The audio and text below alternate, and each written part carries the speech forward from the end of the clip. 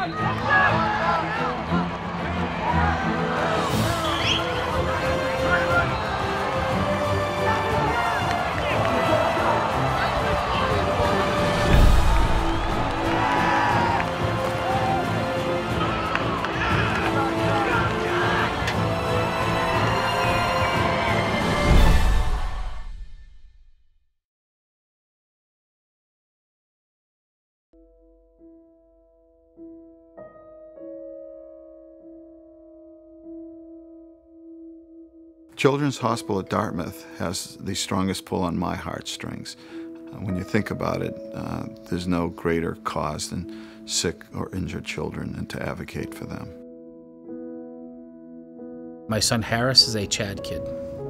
It was a different experience, I think, than anybody could ever imagine unless they've had to go through it. When your two and a half year old son um, is, is stuck in a hospital bed for, you know, 61 days, we were going to um, support CHaD forever. We were in debt.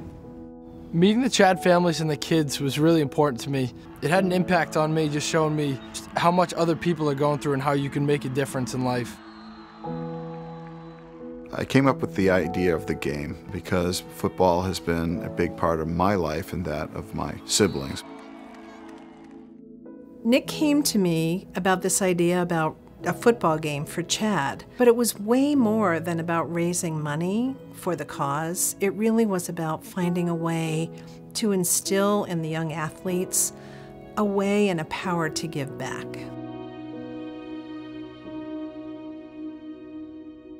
I had been saying for years that we really need an interstate all star game so that we can get more kids involved. When I saw what it was going to benefit, what an opportunity for me to give back to, to the CHaD organization and coach the game. Another major aspect of the game is the selection process and choosing athletes from across the region and from many different schools. The athletes themselves get to be a part of this game through a selection process that the coaches get to scout, they get to review film, and they will also look into the character of the player. This is a privilege to play in this great game for a great cause. I do believe today we have become the game to play in for these young aspiring athletes. So Our focus wasn't really teaching football, they already know how to play football. Our focus was teaching them philanthropy. The true meaning to philanthropy is that not only is it powerful to give, but it changes your life and that it gives your life greater meaning. And then, in fact, you become the beneficiary. Once I took the tour and I saw what these families and kids were going through, almost an obligation of mine to, to help make a difference in any way I could. How important was it for me to be part of the game?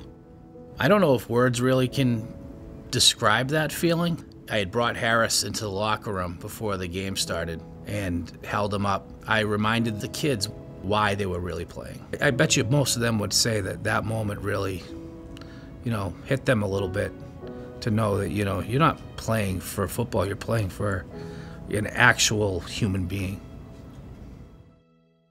This is more than just a football game. Because these players are playing for a cause that's greater than themselves, they're really impacted by the kids and families that they get to know in the process and it really helps them to learn about life in a way that they otherwise wouldn't.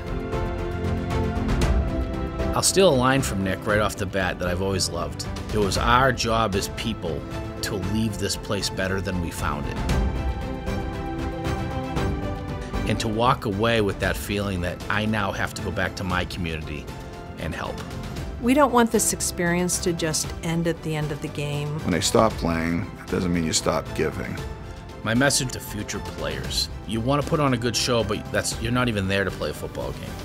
You're there to send a message, you're there to help people, you're there to better yourself so that later on, not now, but 10 years from now, you're in a place where you can help people and you can do things like what we're doing is to make lives for people better.